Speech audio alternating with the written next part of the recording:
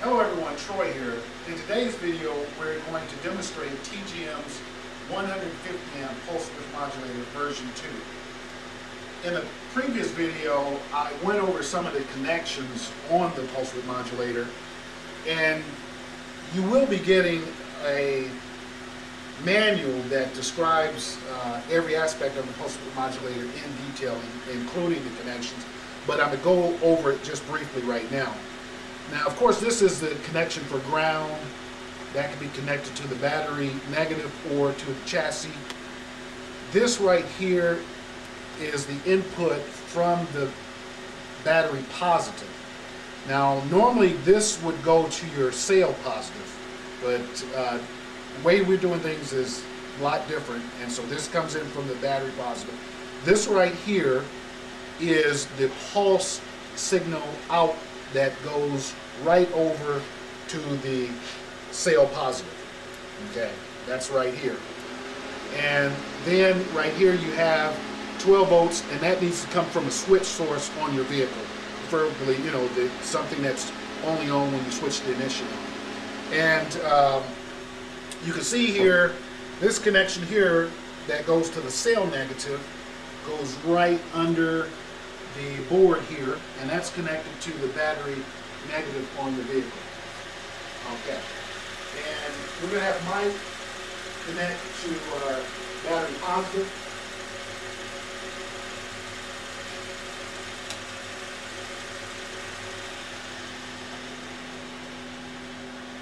Okay, now the pulse width modulator is on. It's in normal operating mode, which is indicated by the green LED. Okay. Right now we're drawing 13.2 amps. The reading on the digital multimeter is 13.2 millivolt. And remember, as I went over in a previous vid video, you can use any standard digital multimeter to measure frequency, duty cycle, and current. I'm connected right to these uh, inserts uh, for the uh, jacks for the probes, connected right to the multimeter. And so what I'm going to do, right now we're drawing 13.6 amps. It's going, is you know, as this cell heats up, your current draw begins to increase. I'm going to add some electrolyte and we're going to get this up to around somewhere between 30 40 amp range and uh, you'll be able to see a transition from um, normal operating mode to current limiting mode and the red the green LED will change to red and you will see it drop down. Actually starting to happen now as it goes up. You can see it now. Um, if that's not due to the uh, automobile's fan let's see here yeah yeah it's going to go into current limiting mode even here see there and you see the transition notice how clean the signal is. Uh, when you look at the rising edge, you look at that, it's very clean. No voltage spikes there. Uh, you won't get them because, uh, and I'm not using the filtering capacitor. Great steps has been taking, uh, taken in the uh, layout of the circuit board and uh, to minimize parasitic inductance, parasitic capacitance, and we have a solid ground plane, so very low um, ground impedance. And so there's no filtering capacitor inside this pulse width modulator, none whatsoever. No diode for voltage spikes, none whatsoever. There's active circuitry that has been implemented to deal with those issues. And you can see the results there. So what I'm going to do, just with my index finger and thumb, I don't, I can use the uh, screwdriver, but I don't have to. I'm going to increase the trip point because we're going to uh, add electrolyte and uh, we're going to step this up to now you see already the current is rising. You get it a little bit above there. We're at 17 18 a little more we want to get up to the uh, Okay, we're at 22. Okay, so we're in the range. So I won't put quite an entire teaspoon there. Close.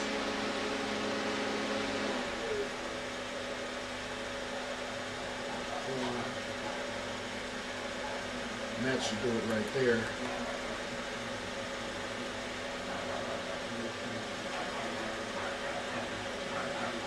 Okay, so we're at uh, 25.9 amps, 26 amps. Um, I'm gonna just add uh, to get us there. Just add a little more. You might put us over the top. Let's see where we're at. Okay, that now, no, 28.4. Now, as, as it heats up, it's going to um, fold back. Probably should be right at about 30 amps. Now, an easier way to do it um, is if you set the dip switch to um, uh, turn number uh, five on, you can actually just it, it, you'll get a reading of um, if you wanted to set it for uh, 30 amps. You, you get a reading of uh, you just set it to where that reads 30 millivolts and you set. But you can see here we're at um, well we're at 20. It's starting to fold back at uh, 27 amps. Um, let's take it up one more time. I won't put all this in, but that'll take we get it right at about 30 amps. Yeah, that'll go right there. So right now we're 30 amps, and it will not allow to go um, past that. It's starting to fold back. 30, 30 amps, 29.9 up in there.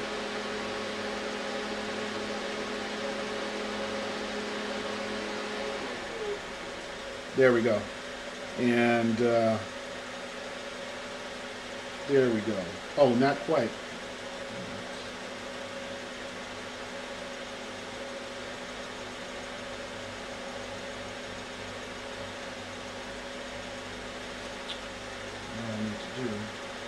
Okay. There we need. So you can see you can really finely tune this. You can with the as far as the uh, fold back percentage and um, and everything uh, to whatever sale that you're using. Now to um, order these, you simply go to www.shop.tgmresearch.com and you can place your orders there. And what we're going to do is to keep the price down for everyone.